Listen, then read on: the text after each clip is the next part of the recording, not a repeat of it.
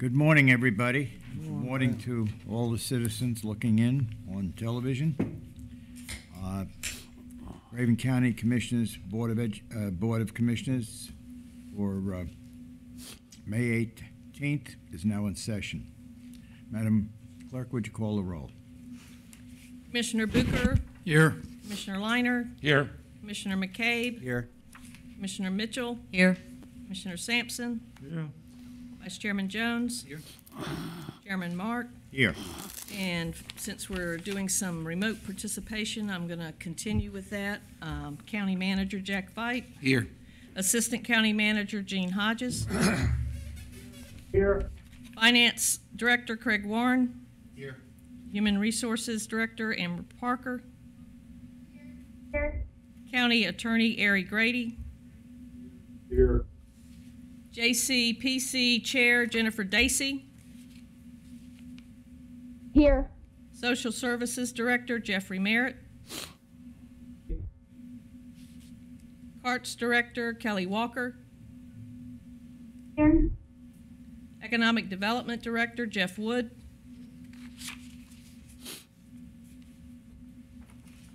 Airport Director Andrew Shorter,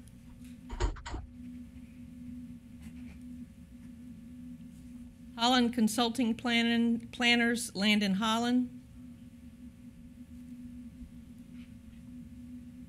Planning Director Don Baumgardner, Here.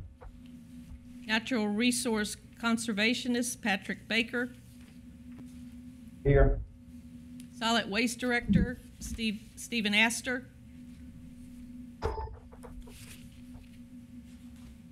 Emergency Services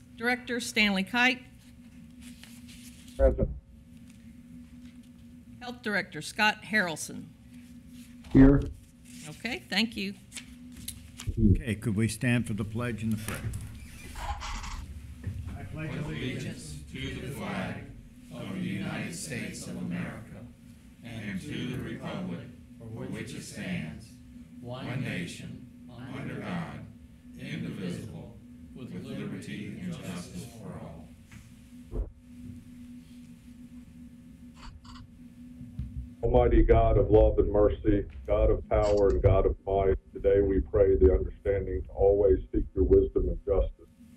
It is through your authority righteously administered that our commissioners are able to govern this county with laws enacted for our betterment.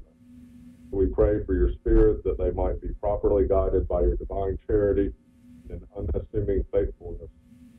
Give both counsel and courage to the leaders of this Board of County Commissioners as well as other leaders of this county, the state of North Carolina, and these United States of America.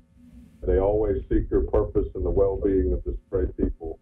Grant now your unfathomable protection that they lead our country with the honesty of providence and the integrity of high ideals.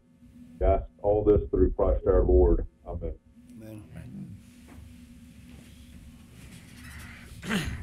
Commissioners, you've had the opportunity to look over the agenda. Do we have a motion to approve the agenda as is.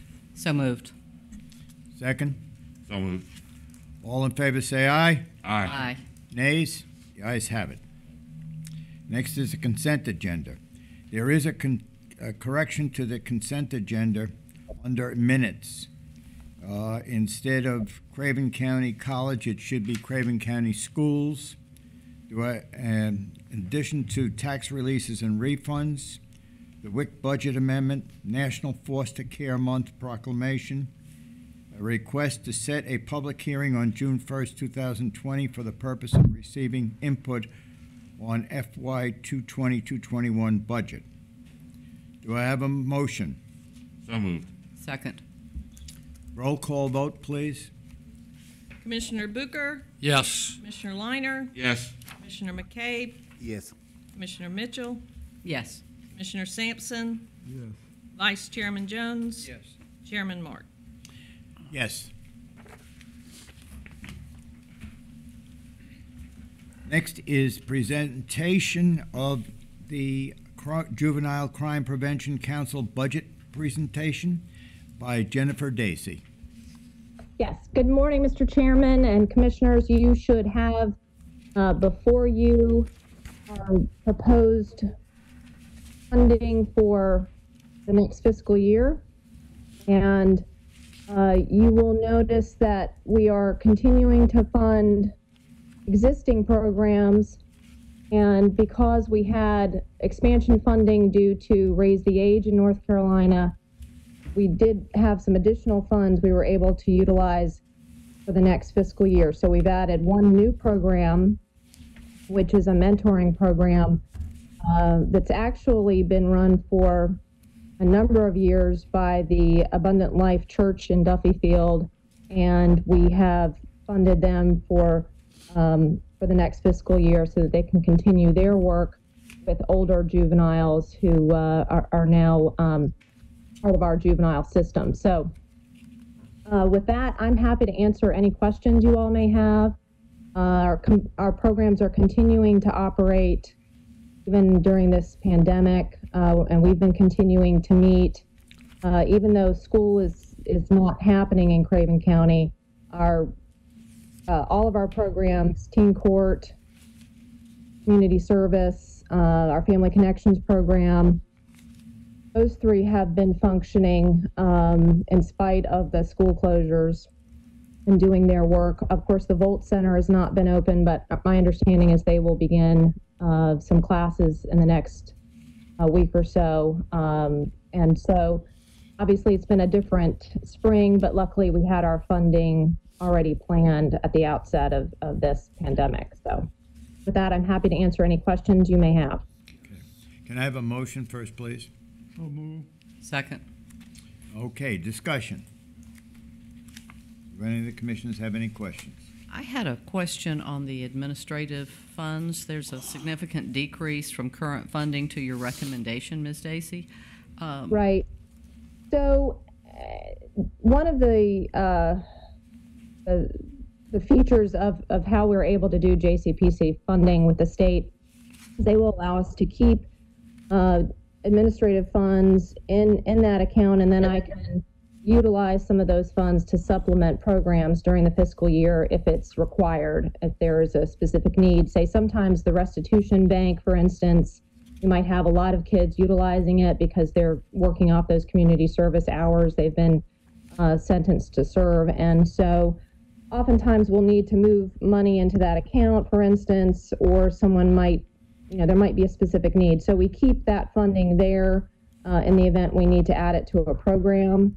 Um, and this year we um, we actually will will because we've not been having our meetings um, for the last few months, we will have some funds there that we're going to be utilizing to sponsor some specific juvenile related events um, over the next few months. I'm, I'm hoping uh, the sheriff's expressed an interest in using some of it for national night out, things of that nature. But that's flexible money, so to speak. Okay. And um, typically, administrative funds that we utilize are, are far less than what you're seeing in this current fiscal year. So, Thank you. Any other questions? Um, Jennifer, you and I had had a discussion on uh, the, I believe it was the teen court with the problem with COVID-19 and uh, some additional children problems. Could you expound on that? Well, I think uh, one of the issues they have had, our teen court uh, kids do specific um, coursework through teen court. And so, one of the things the school system is trying to figure out often those kids have tablets that they can utilize for schoolwork uh, from the county. And one of the difficulties we've had is, is facilitating some way for them to do the work that they need to do for teen court because apparently the tablet limits um, what kinds of what links they can open up and things of that nature so we now are trying to work through that uh, and my understanding from the state is that all of our programs are going to have to have contingency plans in place by the fall so that if we end up having to go back into another lockdown situation, there will be some some additional planning ahead of that so that hopefully we can um, maneuver those situations. But that's been a challenge for teen court. Of course, we do have some students in our county who, who also have connectivity issues, but um, our programs are finding a way, for the most part, to work through those. If they can't communicate through FaceTime, and they're communicating by, you know, phone and that, and things of that nature. Um, so that has been a little bit of a challenge, but I'm hopeful that that this together, our team court and and school system folks can work through that issue. Thank you. Mhm. Are there any other questions? Thank you very much, uh, Jennifer. Thank you all. Appreciate appreciate all of your help. Want to have a vote? Uh, Have a motion, Have a motion. second. All all in favor, say aye. Aye. Nays? The ayes have it.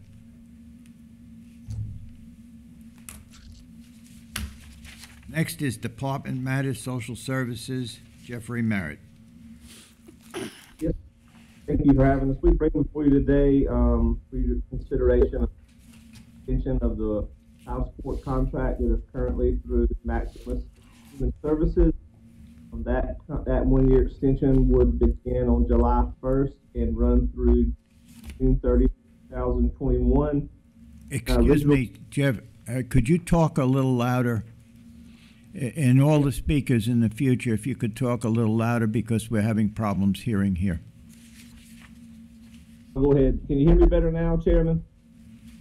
Yeah, a little bit better. Um, so I, we, we bring before you today, uh, consideration for a one-year extension to our current child support contract. Uh, Maximus Human Services currently administers the child support program. That original contract began in fiscal year 15, 16 and was for a five-year period. And in that contract, there was the option for an additional five one-year extensions. This would be the first of those five one-year extensions for you to consider. Um, and you see a contract amendment. The terms and conditions set forth in the original contract shall remain the same. Um, and I'll be happy to answer any other questions that you may have regarding this. I also, Billy Smith, who is our, um, manager over at Maximus Human Services Child Support Office, well with me. Okay. Can I have a motion, please? So moved. Second? Second. Okay, discussion. Any discussion by any of the commissioners? Mr. Chairman, we do intend to bid this contract out next year. It was unfortunate we got in a position this year with the current climate, but next year we feel we're going to go out to bid and see what the market's like. Okay. That's a good idea. We always like to try to find the best price, sir. Okay. I have a mo, a a motion and a second. Let's have a roll call vote on this, please. Commissioner Booker, Yes. Commissioner Liner, Yes. Commissioner McCabe, Yes. Commissioner Mitchell, Yes. Commissioner Sampson, Yes. Vice Chairman Jones, Yes. Chairman Mark. Yes. Thank you. Yep. Thank you. Have a Good day. Department matters, carts, rural site operating, RSO, period of performance extension request by uh, Kelly Walker.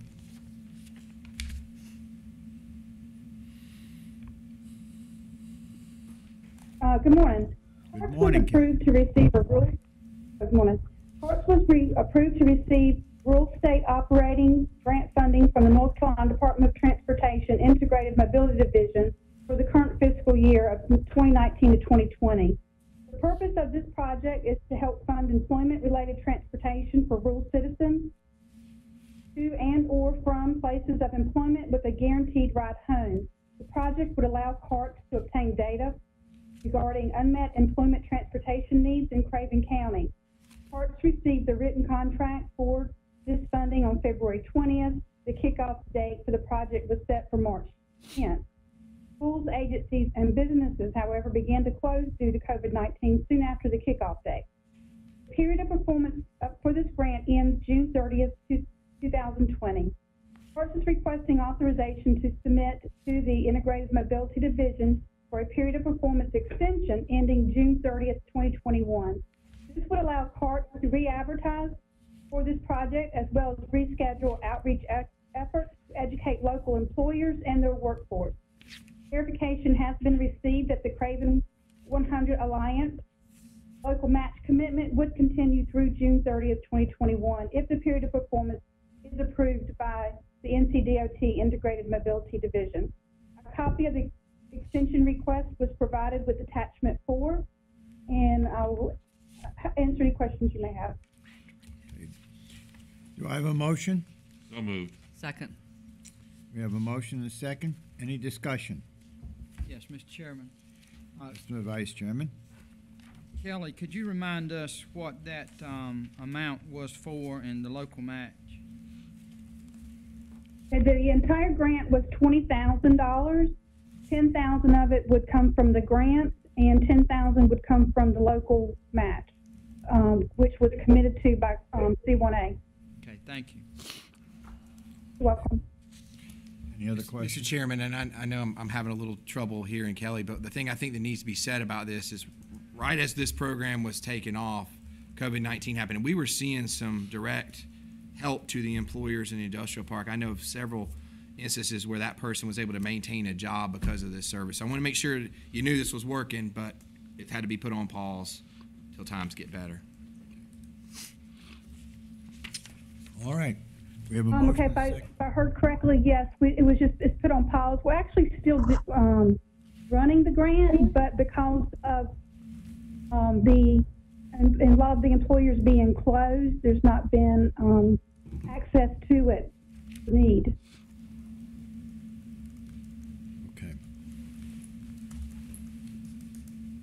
All right, we have a motion and a second.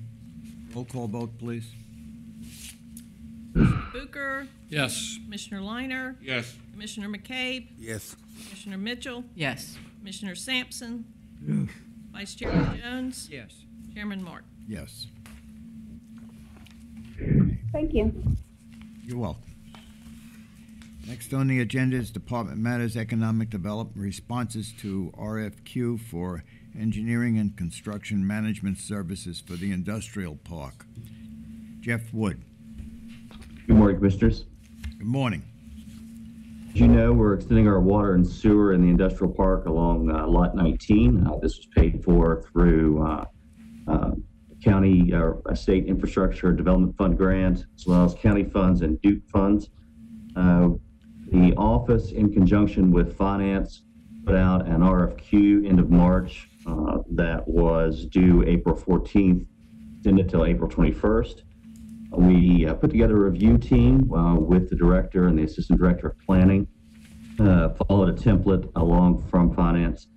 Um, we had a pretty good showing. We had seven responses, all well qualified firms. I would have been comfortable with all, all seven.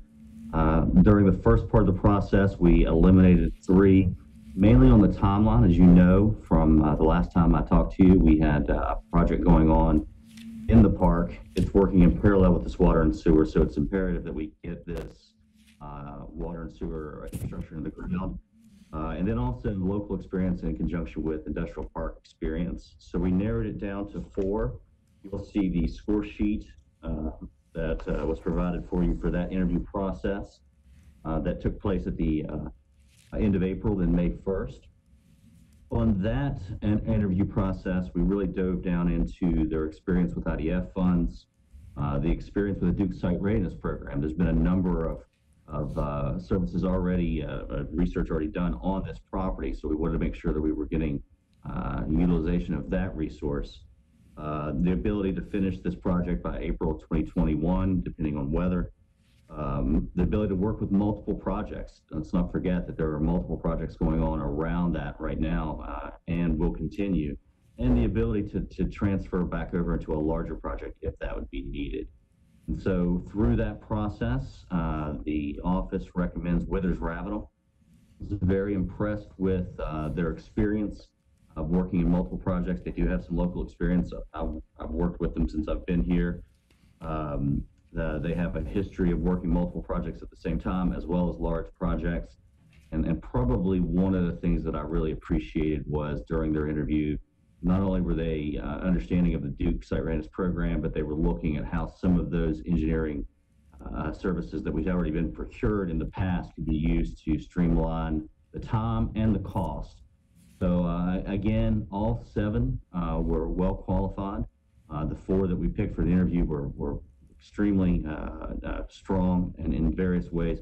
Withers to me and, and to the review board, uh, review uh, committee seemed to be the, the strongest of those four. So I'm asking today for uh, board authorization for me to uh, negotiate with Withers Ravenel for a uh, contract for engineering contract services.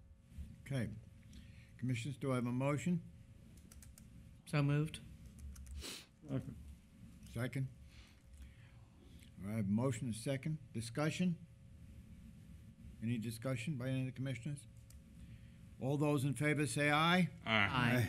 Nays? The ayes have it. Thank you, Jeff. Thank you. Next is the Department Matters Airport Cares Act Airport Relief Funding. Andrew Shorter. Um, Andrew, before you say anything, I, I think the commissioners would like to congratulate you on your award that you received for the 2020 Airport Professional of the Year Award. Uh, We're very proud of it, and we thank you very much.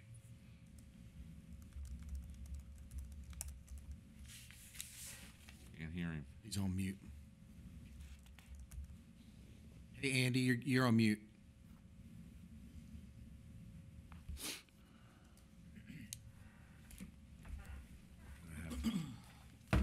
Hold it, hold it. he looking up at her. Mr. Shorter, you're on mute. About now. Now you're okay. We didn't hear Sorry, anything you sorry, I said. hadn't used the phone and the computer yet. Um, okay, so again, uh, good morning, Mr. Chairman, Commissioners. Thank you for uh, uh, recognizing that. Again, it's very uh, humbling to be recognized by your peers uh, in any way, and I appreciate that. It's great uh, for the airport, and again, it's uh, mostly about the team here. Um, up, down, left, right. Uh, if it wasn't for the team, you know, we can get done here what we, uh, uh, all the things that we try to get done. So for this morning, I'm here to talk to you about the CARES Act uh, grant funding that we're in receipt of from the FAA, uh, looking for approval. It's in the amount of $14,713,820.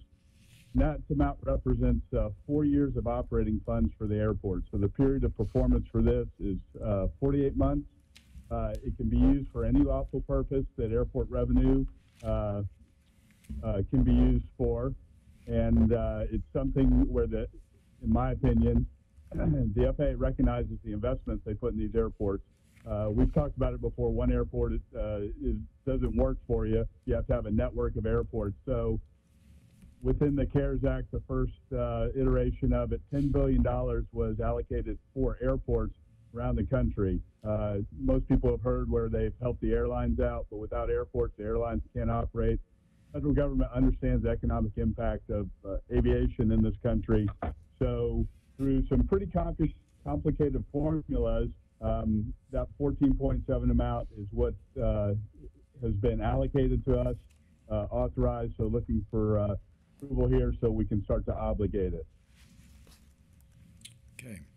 Do I have a motion? So moved. Second? Second. We have a motion and a second. Discussion. The only thing I'd like to say is, can we borrow some of that money for the county? Um, I, I, as much as I'd like to say so, uh, in, in the language in several places it says the grant agreement must only be used for purposes directly related, related to the airport. Thank you. Uh, Commissioner Liner. Mr. Shorter, do we have projects on the books already you're ready to move on? Well, the interesting thing about this, this can be used for projects, but uh, right now this 14.7 million is specifically for operations and maintenance. Um, if we were to want to do a project with this, we would have to submit some supplemental information and really go through the normal process that we work with projects. We can subdivide some of this money further down the road, but for right now, the recommendation with the FAA was um, take this because they wanted to get it out very quickly, use it what you need for operations and maintenance. And of course, uh, maybe most of you've heard that, uh, you know, we're, for about six weeks, we were only doing about 5% of our passenger traffic. Uh, this week or last week, we bumped up to about 10%, which is good, but you know you can't run a business off 10%. And that passenger traffic represents uh, almost 80% of our budget. So right now, we're going to focus this on operations and maintenance funding and then look down the road to see if there is a uh, the, the right project to go after with this. We still are expecting our normal grant funding for our our programs, programs, uh, projects, large capital projects that we have on the books. Next meeting, I should be coming to you with the grant for our aircraft rescue and firefighting building. Um, they have not gotten that out because of this other processing these other grants. And then for our our normally planned 2020 grant funding, uh, our aircraft rescue firefighting truck and a few other things will also come back to you with another grant for that. So those projects are still moving on. This right now will be mostly focused on operations and maintenance to maintain the, the safe, secure, and efficient environment of the airport. Thank you, sir. Any other questions by the commissioners? We have a motion, second. May I have a roll call vote, please? Commissioner Booker, Yes. Commissioner Liner, Yes. Commissioner McCabe, Yes. Commissioner Mitchell, Yes. Commissioner Sampson, Yes. Vice Chairman Jones. Yes. Chairman Mark. Yes. Thank you, Jeff. Next is Department Matters on Planning, uh, Landon Holland, Don Baumgardner, and Patrick Baker. Yes, sir, Chairman. Uh, th- uh, Landon Holland here. Can everyone hear me okay? Yes. Okay. Um, I'm Landon Holland, representing Holland Consulting Planners. Uh, we are here to request that the board consider adoption of a resolution which would essentially result in the adoption of the Pamlico Sound Regional Hazard Mitigation Plan. I do have a board summary or write-up that was uh, included in your agenda packet. In the interest of informing the public, I will uh, simply read through that briefly and then I can address any questions that you may have. The attached resolution of adoption relates to the Pamlico Sound Regional Hazard Mitigation Plan. Pamlico Sound Regional Hazard Mitigation Plan includes Craven, Beaufort, Carteret, and Pamlico counties, as well as the incorporated municipalities throughout the four county region. Planning process was initiated early last year, 2019, and will be completed following adoption of this resolution by the Board of Commissioners. Once adopted, it will be forwarded to FEMA for their formal certification of our five-year plan, meaning that upon adoption and certification, uh, the county will be certified uh, as having, uh, you know, a, a, an official hazard mitigation plan over that five-year period. Development of the draft document involved a series of four hazard mitigation planning committee meetings, as well as two public input meetings. Uh, these meetings were spread throughout the region in various locations uh, over the uh, eight to 12 month planning period. The county was represented by planning staff as well as two st- citizen stakeholders. Uh, they were uh, appointed by the Board of Commissioners at the beginning of the process and included Daniel Hill Jr. and Bruce Heiss. Planning staff worked in conjunction with the project consultant uh, to draft the county strategies. These strategies were presented to the Board of Commissioners on February 17th, 2020, at your uh, second Commissioners meeting uh, that month in February. Uh, we have attached those strategies for your review, as well as provided uh, a link to the project website, which is for the uh, interest of the public, www.pamlicohmp.com. www.pamlicohmp.com. In order for Craven County's hazard mitigation plan to stay in compliance, allowing the county to receive post-disaster assistance and long-term recovery funds, uh, the staff requests that the Board of Commissioners adopt the plan through the attached resolution. Um, that provides an overview uh, of the project and process, and I can answer any questions that you all may have. Okay, that is Part A. Uh, In order to, for Craven County Hazard Mitigation Plan to stay in compliance, do I have a motion? So moved. Second. All in favor, say aye. Aye. Nays? Okay, go on. Hazard Mitigation Grant Program. Thank you, Chairman. Uh, The second item we have before you today is a request, or a resolution of just compensation for units associated with the Hurricane Florence expedited uh, buyout or acquisition program. Again, uh, I provided a board summary uh, in the agenda packets, uh, and I will read through that here briefly uh, and then address any questions. As you're aware, Craven County has received a hazard mitigation public assistance grant to be used for the expedited acquisition and demolition of six residential structures. Structures are located in repetitive loss areas of Craven County and received substantial damage from Hurricane Florence. Structures are located on Scotts Creek Drive, Howell Road, and Frank Avenue.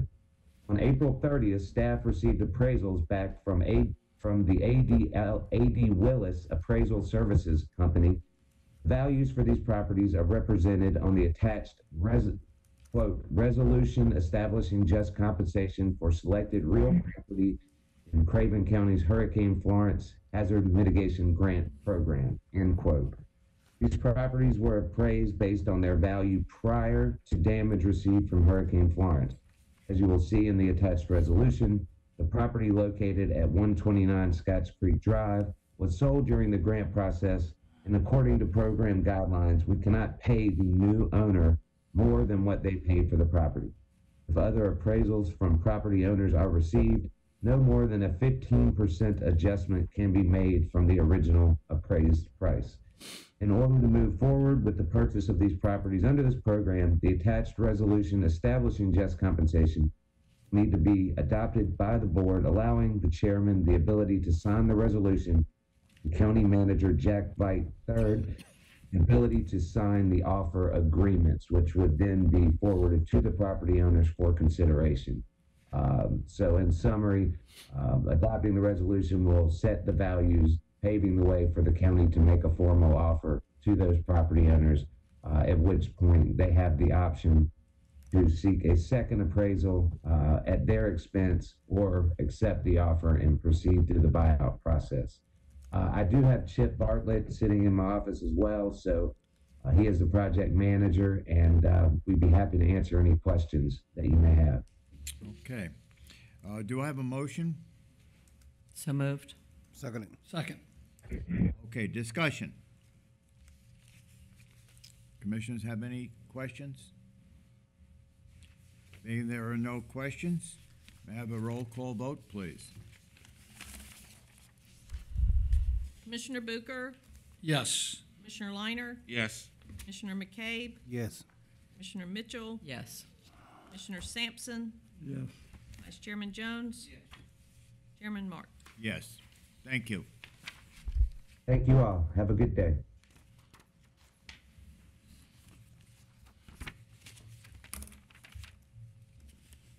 Department Matters, Solid Waste, Budget Amendment, Stephen Astor. Mr. Chairman. No, you got C Yeah, I think Don, Didn't um, CC.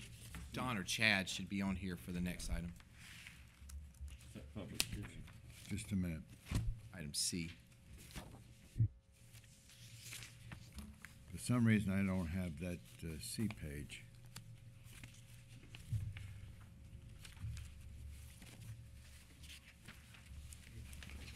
Thank you. Okay. That's request for public hearing for amendments to the flood damage prevention ordinance. Don Baumgardner? Yes. Yes, good morning. Um, we're here this morning to discuss the new FEMA-approved flood maps that are provided by the North Carolina Flood Mapping Program. These maps are set to go into effect on June the 19th for Craven County. In order to remain in compliance with the National Flood Insurance Program, the county is required to amend our current ordinance to reflect the newly revised state model flood damage prevention ordinance. Uh, and these are the guidelines that regulate our development within the regulatory flood zone. Um, we, by approving the amendments um, as written within the revised flood damage prevention ordinance, it will actually coincide with the proposed maps that FEMA has approved and the state have approved to go into effect on June the 19th of 2020. Uh, these preliminary flood maps were released to the county and the public on the state website for review on June 30th of 2016. These maps were created using data collected from prior hurricanes such as Emily in 1993, Fran in 1996, Isabel in 2003, Ophelia in 2005, two extratropical storms of 2006, as well as 600 plus computer simulated storms. Since the release of these maps, the planning department has used many methods to raise awareness to inform the public of the proposed flood map changes, such as notifications on tax bills, announcements on the county's website, public workshop events, presentations to local organizations, outreach to each township, as well as flood zone assistance via the phone or in-office meetings with the public. At this time, uh, if we fail to move forward to undertake any amendments, adoption of any amendments, uh, it would result in the loss of flood insurance for our homeowners within the floodplain areas. It would also jeopardize the county's, any federally supported funds that the county would pursue uh, could potentially be lost because we're not in compliance with the uh, flood, flood ordinance requirements of FEMA. At- At this time, we need the board to set a public hearing for June 1st at 7 PM to hear comments and consider the adoption of the amended flood damage prevention ordinance. Do I have a motion? So moved. Second. Okay. Any discussion? Mr. Chairman. Yes.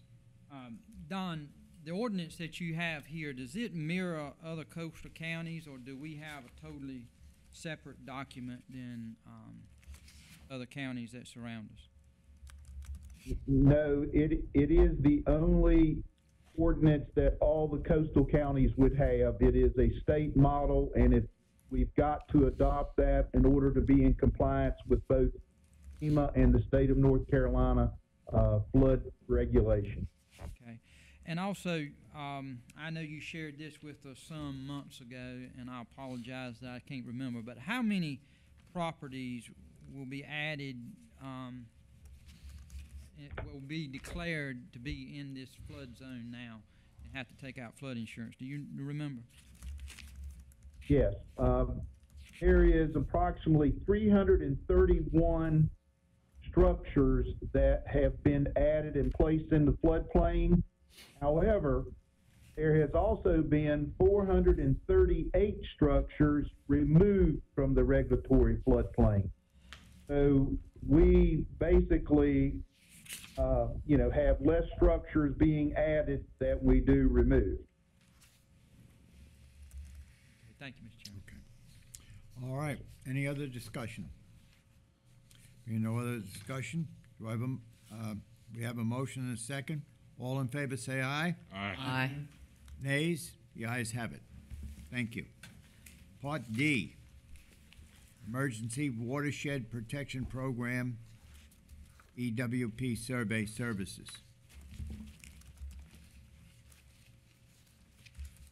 Good morning. Good morning, Patrick. On April 27th, Craven County solicited qualifications seeking qualified licensed professional engineering or survey firms to perform survey services in support of the county's emergency watershed protection project. On May 1st at 9 a.m., a pre-bid conference call was held with eight firms present. Request for, for qualifications was due back on May the 12th. On May 13th, the bid review committee reviewed and ranked all the submitted qualifications. In order to move forward with the implementation of this program, staff requests that that the Board of Commissioners award the contract to Vaughn and Melton as recommended. Once the firm is selected, staff can move forward with fee negotiation for service. Okay, do I have a motion? To move. Second? Uh, discussion? And there's no discussion? All those in favor say aye. Aye. Aye. Nays? The ayes have it. Thank you. Thank you. Okay, next is Stephen Astor, Solid Waste Budget Amendment. Commissioners. My name is Stephen Astor. I am the Solid Waste Director for Craven County. Um, I'm here this morning to, uh, for the board to approve the budget amendment shown in attachment eight, recognizing hundred and seventy-five thousand dollars to the Solid Waste Department from the Hurricane Florence FEMA revenue line. Um, since the middle of February, our department has seen a heavy increase uh, in citizens and traffic uh, at our convenience sites. And uh, this, this has led to a record-setting numbers for trash disposal pools from our site. The three line items we use uh, for our department at, for our convenience sites are hauling, which is the fee we pay for contractors to come and empty the boxes. Our bulk waste tipping fees, which is the fees that for disposal at the landfill. And the yard waste tipping fees that we pay to the landfill. Bulk waste and yard waste are separated because they're two different prices. Um, so when our boxes get full at our convenience sites, we pack them. We call our contractor to come and pick up the boxes and haul them away. That's our hauling line. And when they dispose of them, that would be the tipping fees that we pay as well. The action we are requesting is the board to approve the budget amendment to cover the remaining months of fiscal year 1920. So the solid waste department can continue to serve the citizens in Craven County. Okay. Uh, do I have a motion? move. Second? Second. Any discussion? Commissioner Liner. Sir, what's the tipping fees demolition? Tipping fees demolition is the forty dollar tipping fee that we pay for the landfill. So we, we, we include our demolition and bulk waste together because they're the same price. Okay, all right, thank you. Okay. Um, I can vouch for the number of people in the landfill, uh, in the uh, recycling centers.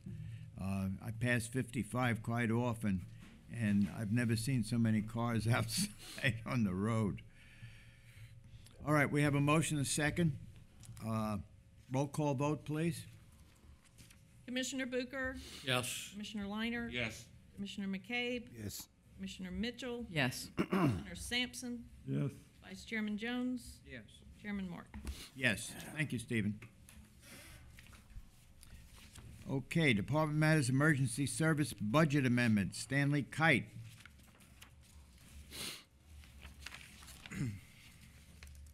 Good morning, Commissioners. Uh, I'm presenting to you this morning a budget amendment at the conclusion of a matter that was presented by the county manager at your meeting on May the fourth. This is for emergency management performance grant funds, which are supplemental form funds that were provided, uh, by FEMA down through the state of North Carolina. Requires a 50-50 match. Uh, the award was for twelve thousand six hundred ninety-five dollars, and I think you were already presented with the information of our proposal to buy a GLX tent, which could be used in the field for quick setup operations, which meets military specs, which includes, uh, interior lights, also and air, uh, for personnel and staff to be able to function from a field office in the field. Uh, and our request has, has been moved forward and approved. Therefore, we're asking you to approve the budget amendment so that we can complete this purpose. So move. Okay. Uh, discussion? Um, County Manager, th- uh, this is the, uh, we was, discussed this at the last meeting, did we not? Yes, sir. Yeah. It's the uh, 50-50 match. Okay. Do I have a, uh, could I have a roll call vote? Commissioner Booker? Yes. Commissioner Liner? Yes. Commissioner McCabe? Yes. Commissioner Mitchell? Yes. Commissioner Sampson? Yes. Vice Chairman Jones? Yes. Chairman Martin? Yes. Thank you. Thank you, and I'd also just like to say that, uh, it looks like our tropical storm is off Cape Hatteras right now, so it's moving on away from us. That's good. Oh, that's out of here. Thank you. Thank you. Yep. Uh, Department of Matters Health, Scott Harrelson. Yes, good morning, Commissioners. Good morning. I have uh, five uh, fee recommendations to bring forward this morning, and also after those, I wanted to give an update on uh, the uh, latest count for our COVID cases, uh, active cases, and try to answer any questions you may have about that. Um, the first three fees were actually brought to you at your last meeting and approved, and no sooner have we approved those fees than uh, Medicaid uh, increased the rates to eighty percent of the normal office fee. And these are as a, uh, uh, telephone fees, we're, we're doing WebEx uh, or WebEx type uh, appointments right now over computer, but they're not always they're not always uh, available to uh, patients. So now these fees for are for telephone appointments, and you'll notice that uh, they they increased greatly. For instance, a 441 visit type went from $14 to 59. A uh, 442 went from 25 to 100, and a 443 went from 37 to 150. We we like to take advantage of those increases. And the fourth fee for consideration is a uh, colorectal cancer screening, um, a, a stool screening, which is sort of a precursor to see if somebody actually needs a colonoscopy. And uh, that fee is twenty-two dollars. And the final fee uh, for consideration is uh, a new fee for a maternal depression screening at the uh, child's um, first uh, visit and that uh, proposed fee is seventeen dollars and twenty-eight cents. Okay. Do I have a motion? So moved. Second. Any discussion? Being there's no discussion, all in favor say aye. Aye. Nays? The ayes have it. Thank you. And As a uh, update on our uh, cases here in, in Craven County, we have eighty-one active cases. Prior to this uh, latest round of cases, or this outbreak of cases, sixteen active cases was our, was our high. Um, We have one hospitalized out of this group. And I wanted to uh, convey that the vast majority of these cases are linked to uh, uh, one work site, which is outside the county. What has happened is somebody had taken uh, the infection into the work site, it spread amongst the workers. Uh, they, a lot of folks that live here in Craven commute to this work site, and then they uh, are commuting in the cars. They bring it back to their households, and unfortunately, have spread it throughout their households. We do have two other uh, places of business that we're working with with this uh, particular outbreak of COVID cases. Uh, one is another is outside of Craven County, and one is inside within Craven County with just a couple of cases. So uh, I did want to let everyone know that all of the individuals involved have, and the businesses involved have been very responsive. The individuals have done their part by coming in and being tested in a timely fashion, and uh, we have worked with them to do the necessary isolation and quarantines. And businesses uh, have been very responsive as well. They uh, definitely want to protect the rest of their workforce, and they're basically looking at the health department here to uh, let them know when these individuals are safe to go back to work. Um, I think that one of the uh, one of the biggest issues with the individuals was assuring them that they were not going to lose their jobs uh, because of having to be out of work. And uh, these places of business have given them up to the 14 days of sick leave uh, so, and assured them that, that that's not the case. So uh, with that, um, I would like to answer any questions that you may have. Okay, Scott, before you do, could you give us the total number of confirmed cases so far? Total number of confirmed right now, we're sitting at 125. I, I do anticipate that that will increase because we tested a uh, large number of people uh, this past week. Uh, Friday, we tested 60, which was the highest number of tests we've completed in a single day yet. and we have not received all of those uh, results yet. I, I feel we'll probably re- be receiving those today, and that'll probably lead to some more contact tracing. I will say that we do think that the majority of the tests for this particular outbreak uh, have already been done. If there's any more to be done, we'll, we will do those this week. Okay.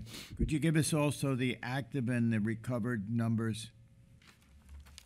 Uh, the active cases right now, our latest data is 81, um, and uh, we have recovered uh, over uh, 40 at this point and four deaths. And one in the hospital? Yes, sir. Currently one in the hospital. Okay. Are there any questions by any of the commissioners of Scott Harrelson? Mr. Chairman. Yes, Mr. Vice Chairman. Uh, Scott, I know we're limited in what can be said, but I think uh, this needs to be echoed, and I think this can be relayed, is that, and you've already stated it, but I think our citizens need to hear it once again, that this is not a result of phase one uh, that the governor has instituted. I mean, this case occurred prior to that, uh, and as you said, it was um, job-related, transferred within uh, from one to another. Uh, and you can say that more eloquently than I can. I, I think that that really needs to be stressed to the citizens of this county. Yes, sir, Commissioner Jones, you're absolutely right. This this really had nothing to do or correspond with uh, the phase one openings. It was uh, a separate issue, and uh, it would have occurred either way. Thank you. Any other questions? Ju- Just one. Mr. Harrelson, um, of these 81 active cases that we know, um, based on your belief that most of the testing for this particular site, work site, has been completed as of yet, roughly when do you anticipate most of these people will have recovered and move off the active and transmittable uh, timeline?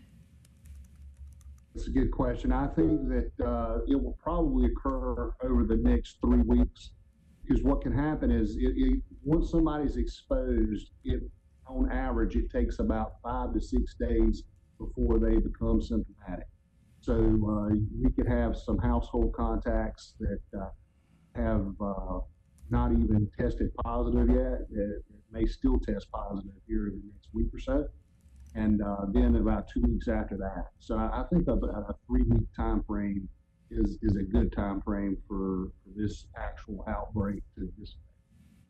I- Is there a plan to retest any of these people to make, to catch any uh, people who are, will not test positive yet because the virus has not established itself well enough to test positive with the antibodies in the bloodstream or in the system? Yes, ma'am. Um, if, if people become then tested negative, uh, for instance, uh, initially become symptomatic, we'll uh, retest them. Uh, and now the guidance from the state has changed as well that uh, we actually test uh, asymptomatic close contacts. And some of them have tested positive. So now uh, the progression will be that anybody who is symptomatic will have to be uh, non-symptomatic for at least 72 hours or three days. And if there's no other household contacts uh, leading into the equation, then they are released to go back to work. And our staff right now is, is basically tracking uh, which households, because now we're at a point where we're seeing multiple positives in one house, so it'll be popping up at the same address. Thank you. Any other questions? Uh, Scott, how many more uh, tests will we be- doing this week approximately? Uh, hard to say, uh, but we do have uh, enough tests. To, we've explained our situation to our reference lab and also the state. So uh, I, it, it's difficult to say, uh, Commissioner Mark. Um, I do think the vast majority are over. I don't think we're going to see more uh, 60 test days. I mean, we were we were doing 35, 35, 60. I think uh, it will probably be uh, less than 30, I would say. Okay, thank you. Yes, sir. Any other questions? Okay, thank you very much, Scott. Yes, sir. Thank you. Thank you.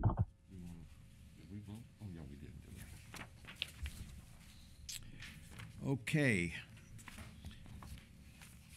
Department Matters Finance, Craig Warren. Uh, Good morning. I have one um, agen- item on the agenda this morning. It's a budget amendment for um, retiree health insurance. Uh, The county has exceeded the original uh, budget projected for the retiree health insurance benefit. Uh, Through the month of April, there have been 12 retirees added that qualified for this benefit in the current fiscal year. Um, Actuals for this line are currently running about 8.6% higher than last year. Based on this new projection, uh, a budget amendment in the amount of $100,000 is needed in order to cover this shortfall. Uh, The attached budget amendment is appropriating this 100,000 from the county's fund balance. Okay. Do I have a motion? So moved. Second. All right, I have a motion, a second. Any discussion on the budget amendment? And there's no discussion, a roll call vote, please. Commissioner Booker? Yes. Commissioner Liner? Yes. Commissioner McCabe? Yes. Commissioner Mitchell? Yes. Commissioner Sampson? Yes. Vice Chairman Jones? Yes. Chairman Mark? Yes. Thank you. Okay. Thank you, sir. Appointments, pending, current, and upcoming. Pending appointments, Adult Care Home Advisory Committee vacancy, Nursing Home Advisory Committee vacancy. Actually, right now, there is no point to appointing anybody to these two committees, as we are not allowed to get into these adult care homes. But I would impress upon the commissioners that as soon as we can, we line up as many people as we can for these two committees. Uh, Juvenile Crime Prevention Council, one mental health position. Uh, I believe that was, uh, Jennifer spoke on that. Recreation Advisory Committee, District Five vacancy. Uh, That would be Theron. Mm-hmm. I don't know what it is, but time. Okay. Regional Aging Advisory Board, Still working. Senior Legislator, Tar Heel, alternate vacancy, Still working. still working. CarolinaEast Board of Commissioners. Uh, I will make an announcement, this is the chairman's appointment. I have appointed Tarwick Stubbs as reappointment. M. uh, P.O. Rogers for appo- reappointment. David Blaine for reappointment. And one new appointment, Thomas Mark.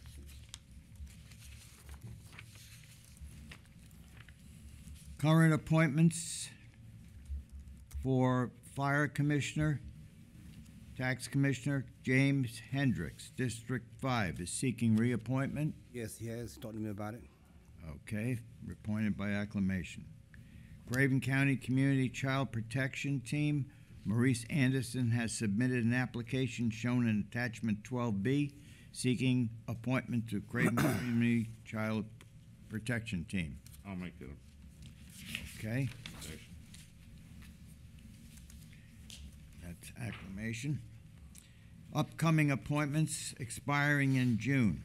Emergency Medical Service Advisory Board, Havelock Planning Board, Juvenile Prevention Council, Craven County Tourism Development Authority, Coastal Carolina Regional Airport Authority, Craven County Social Service Board, Fire Tax Commissioners, Nursing Home Advisory Committee, Craven County ABC Board, and Eastern Carolina Regional Housing Authority, and New Bern Planning Zoning Board, which we'll take up at the next meeting.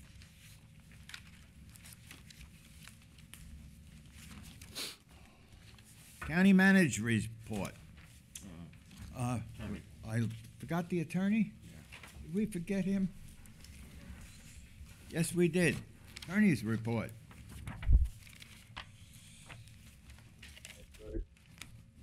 Mr. Chairman, Commissioners, good morning. Uh, one item for your consideration this morning, we have an initial offer to purchase real estate. The uh, tax parcel number is 5014305, located at 865 Adams Creek Road.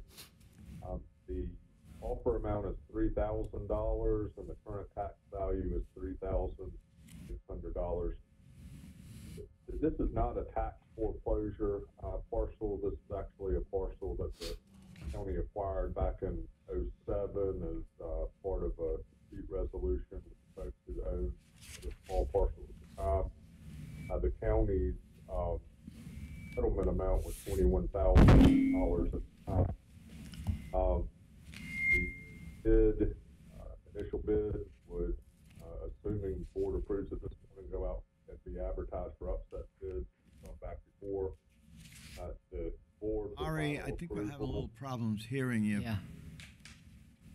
If you could talk a little bit louder, Should I start over, Mr. Chairman? that's good. Okay.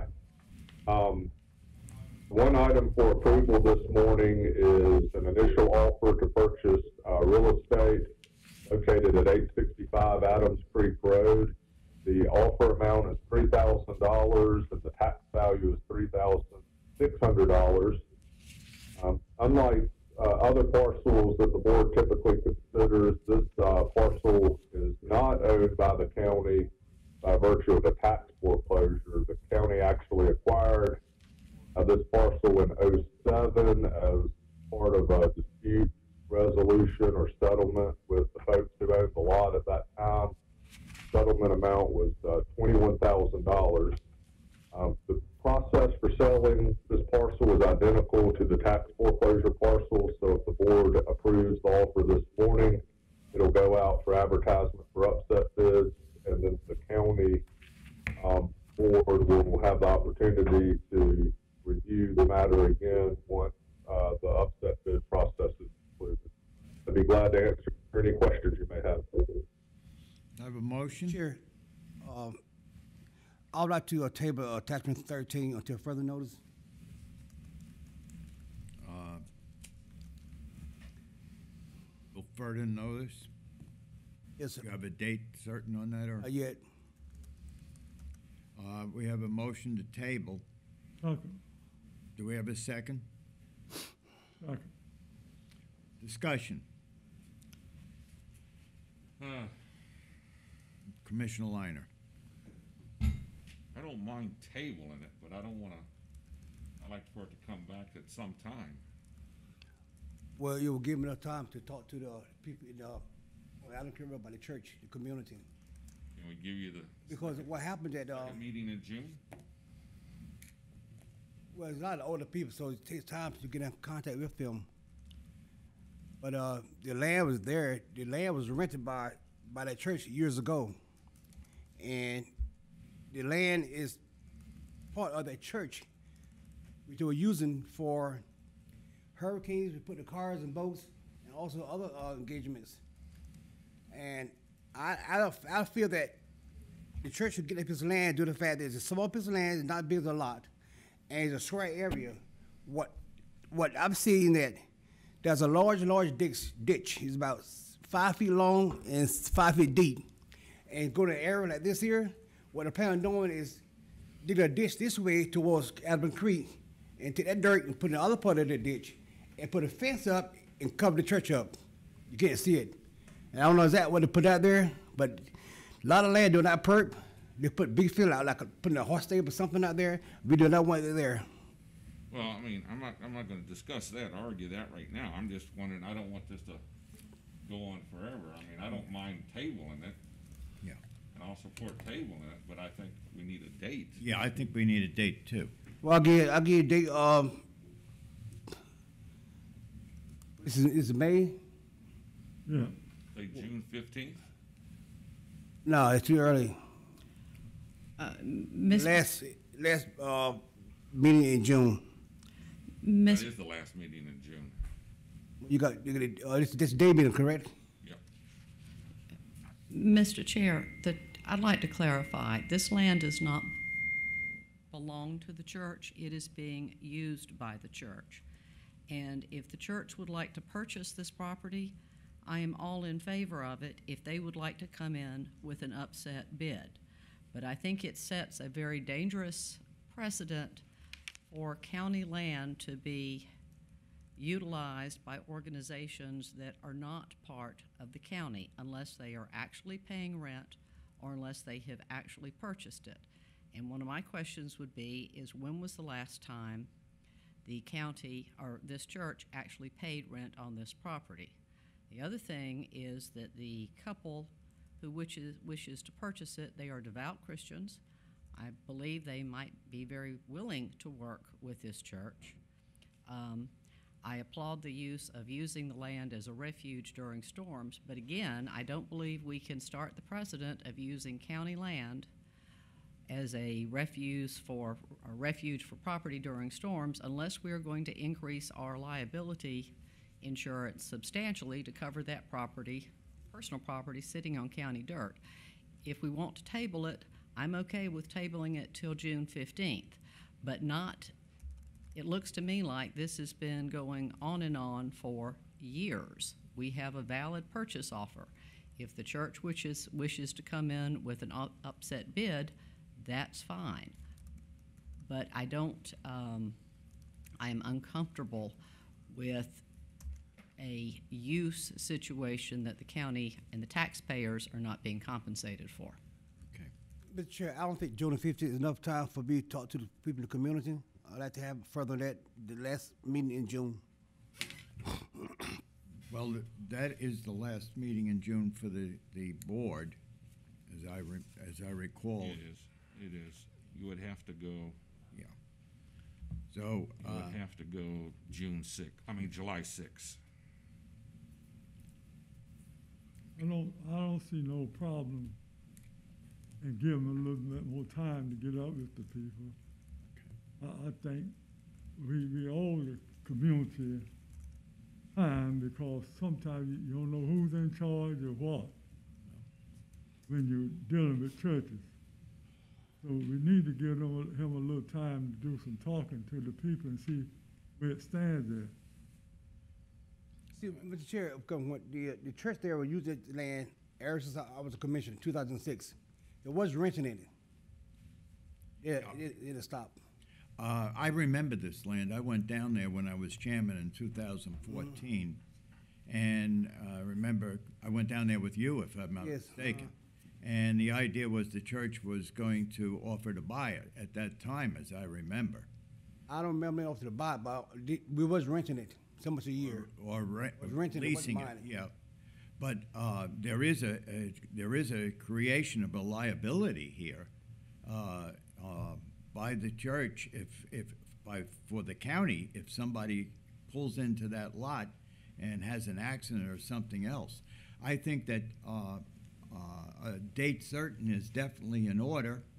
Uh, Fifteenth of this month, uh, June was mentioned, which gives us how many weeks there? About uh, m- four weeks. But the next meeting would be sixth July, that's, that's six that's six and a half weeks. Time go by fast. You have a, uh, commissioner has a client that wants to buy? Uh, yes, sir. The couple that wishes to buy this property, um, this 22 acres that they wish to add this half acre plot to, uh, this is not for their, just for their private residence. They intend to establish a niche farm. They are already buying equipment for it. Um, What kind of farm? niche farm for, What is that? Uh, rather than, for example, like Commissioner Jones does, which would be soybeans or corn or whatever. They would be looking to do And it, it, it, uh, that's high grade, uh, water. You can't plant it there. Well, that's what they're It doesn't even perk. I don't think that that, well, number one, I don't think they need a septic system to farm on that particular half acre. And number two, I don't think it is the commission's job to establish, is this a viable business plan or not? Um, I'd also like to point out that the couple furn- who offer, who would like to turn this into a farm include a disabled vet and an amputee. Um, so this is not just private property, this will be a business enterprise. CT, I won't get in the hall with you, but I'm, I'm telling you like this here. I know the reason why I don't want that piece of land. All right, let, uh, that's neither here nor there. I mean, uh, uh, what we're arguing over now is a date certain for the tabling. Uh, would your people be willing to wait till July sixth? That doesn't have a place. Can't plant crops in July. Can't. I don't think Can't that, plant nothing in there. that's the board's decision. Yeah, I understand that, Yeah, but I mean, Well, She I- wants July. f- uh, Well, June I, I would prefer June fifteenth, because I think that also gives the church time to decide if they want to do an upset bid. And one of my questions is, when was the last time the county received a rent payment from the church? Um, not, I, I don't know the answer, and the county manager may not either. Um, but I would like to propose an alternative motion, uh, bringing this back to the board on June fifteenth. I make a motion to Ju- uh, July the sixth. All right, we're gonna take a vote. We have two motions here, uh, two dates here.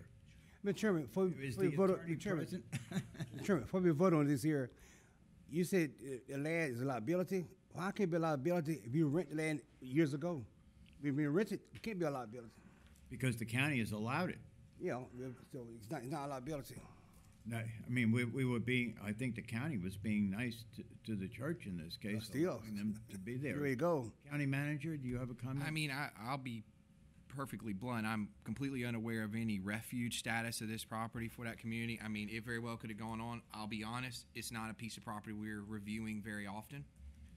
Uh, to answer Commissioner Mitchell's question, I believe it was about 2014 was the last time we had a lease with them. Nan's going to check after the meeting for the file. I think that's Something like that. 14 14, 15. was the last year, and I'm not sure we collected payment in that year. I, I'll have to go back and pull the file. Now, we've had a motion to table until June fifteenth. We've had a motion to table until Indefinitely. July sixth, I believe it was. And then the first one was to table indefinitely. Okay. Uh, Mr. Attorney, could I have some advice here? And my apologies for stepping in. The uh, audio is a little difficult in the other room, so I missed uh, the first few minutes of the conversation. I, I think the way I would look at it is that uh, Mr. McCabe's um, motion to table until July the sixth. the first meeting in July. You made Yes. a motion, and then I believe you are effectively amending the motion, but you'd have to have a second. Um, I'm not What about you amended? Believe he had a second. and then amend the, then reassert the second, you can vote on that motion, and then you'll have, uh, uh, depending on the outcome, then you may have the, the second motion you can take up. If- If that makes sense to the. Yes, chair it board. does. So, uh, I'd like to, we have a motion for July sixth. We had a second for July sixth. Uh, can I have a roll call vote on that, please? Okay, so we're voting on tabling until July sixth, just so Correct. everybody's aware. Commissioner Booker, Yes. Commissioner Liner, Yes. Commissioner McCabe, Yes. Commissioner Mitchell, No. Commissioner Sampson, Yes. Vice Chairman Jones, Yes. and Chairman Mark? Yes. Mr. Chairman. Um, County Manager. Yes, sir. Um, Commissioner McCabe stated in that this lot is used, and you just restated it, that you were not aware of it, but he stated it is used as a refuge during adverse weather events. Um, knowing the Adams Creek Road limited, I mean, I do know that it does flood some, uh, and they get trapped in there. Um, I'd, I'd like to ask if the board would agree to have maybe your staff to just look into this, maybe emergency management. And it may even, I mean, you know, it may even be to a point, you know, if this is a location that is utilized for those citizens during adverse weather events, it may even behoove us to consider um, donating it to the fire department or something for those, along those lines, um, that it can still be used for those resources. Um, I think we have a little bit of conflict maybe with both sides of this. Um, and, you know, I, I understand that we're not in the business to pick winners or losers, as was stated, you know. Um, uh, this is owned by the citizens of the county, needs to be put back on the tax book. But all of us know, um, each community is different. And, um, if this community does utilize this, um, as a resource during those times, then I think it would be to our benefit to let it remain that, but not in our possession. And, um, I think, um, the fire department, they do a good job in, in watching out for folks, and so I'd like to see if that's, it may not even be feasible, but I'd just like for it to be investigated to look at, see if it is, you know.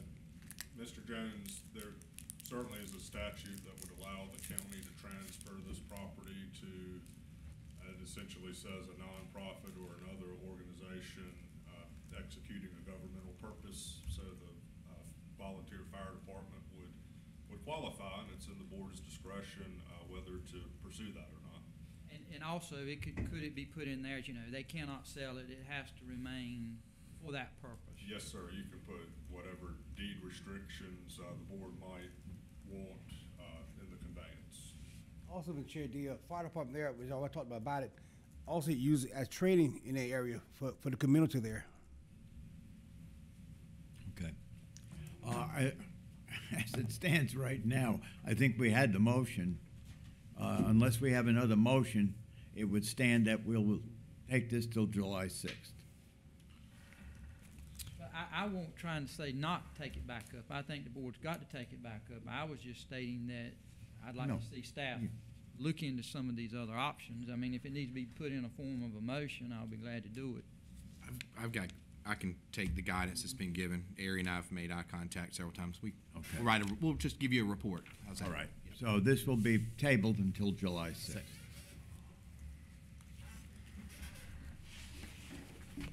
Thank you, Mr. Attorney. Yes, sir, always my pleasure. I'm sure it was, Aaron. Okay.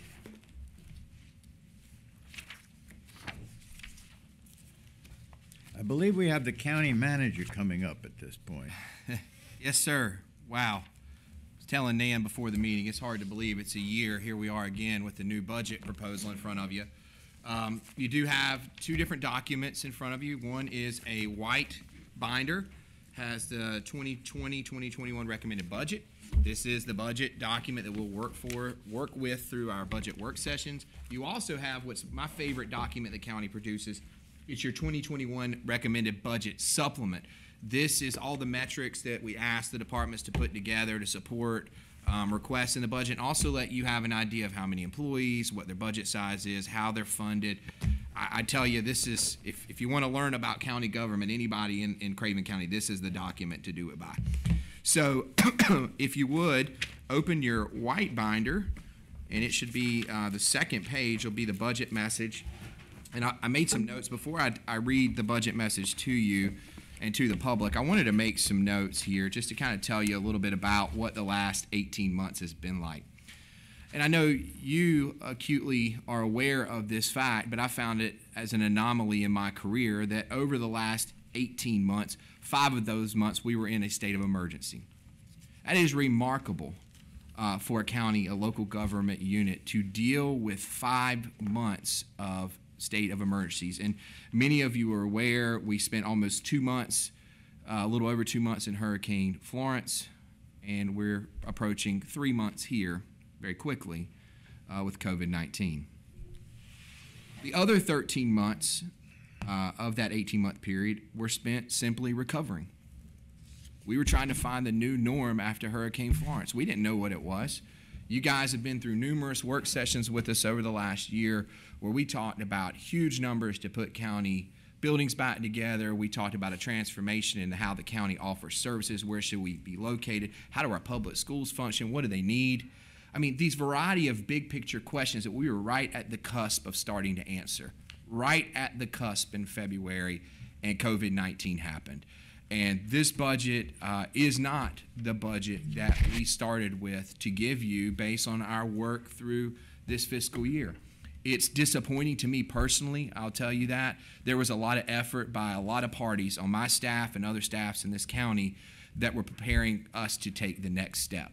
This budget takes a step backwards. I want to admit that up front. This is not a budget that moves Craven County forward. It holds on.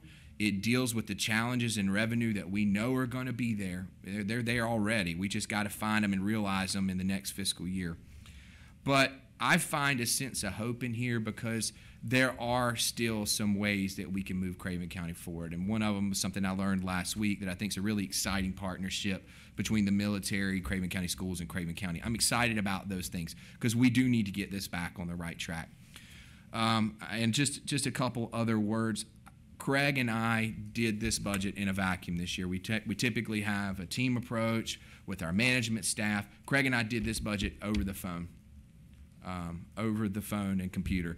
I never thought we would do a budget like that. It, it's, it's definitely not the way Craig and I ever want to do it again. I'll tell you that. We're going to find a way, a hyperbolic chamber or something next year if we still have to deal with this, but we're going to find a way. My question to you, and particularly the new commissioners who've only, this will be your, your second, what is a normal county budget? I don't know the answer to that anymore. I thought we were getting there last year. I think we're moving further away from that this year. We do have the opportunity, and I'll tell you, where there are some revenues that are hard to predict because we just won't know until July of what sales tax and occupancy tax and how quickly we recover from this crisis. Uh, but there will be an opportunity to come back mid year. It may be the opportunity where we've got to come in and have a serious conversation about what's next on the list to reduce or we could have a conversation as what's on the next of the list to fund. I hope we're there talking about that. I think we can see the light a little bit. Um, it's going to be nationally, regionally, state, and then locally as we see that recovery happening. A lot of our budget is tied to a consumer or tied to someone that has the ability to pay for something.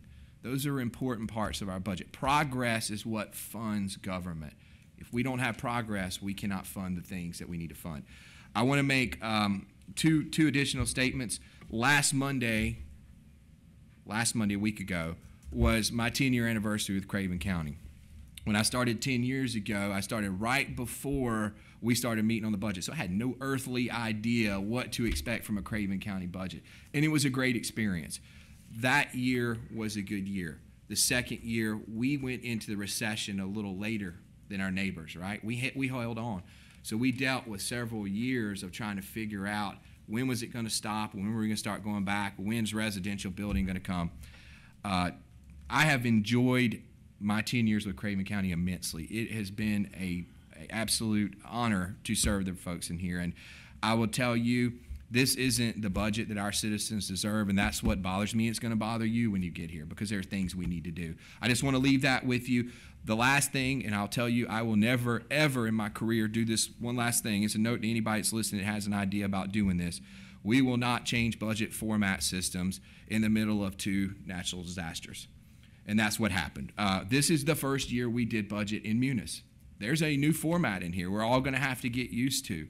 It took Craig and I an extra week just to get started to figure out how to read the numbers. But this was the investment that the commissioners made three years ago to change over our financial software, HR software, IT. I mean, this is the modernization approach, right? This is web based. It's just taken us a heck of a long time to learn it because right when it was supposed to be implemented, Hurricane Florence hit. So I'll leave that. Uh, let me let me read you the budget message, and I'll be available for questions. I do want to note uh, you did already authorize the public hearing for June 1st on the recommended budget, and we do have a work session, uh, our first one on Wednesday.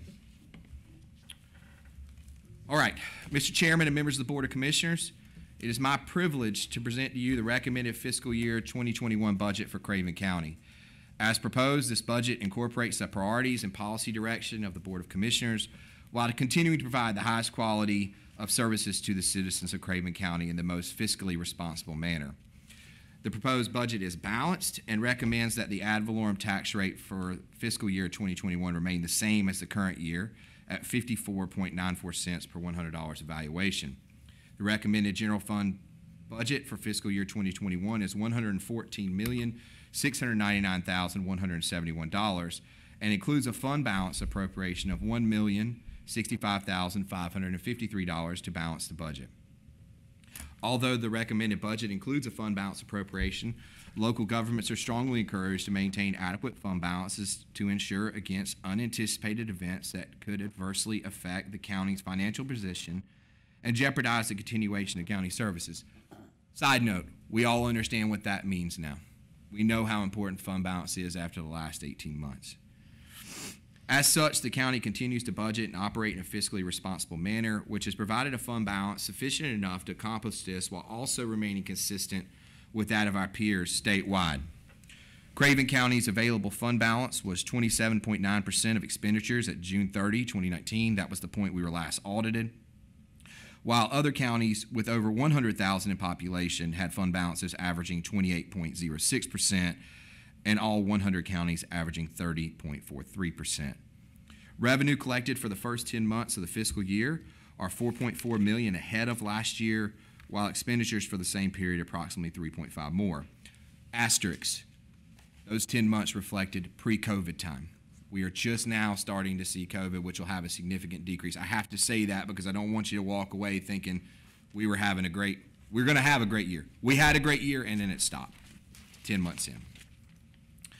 The increase in revenue has mostly been a direct result of the positive growth in commercial and residential development experienced within the county.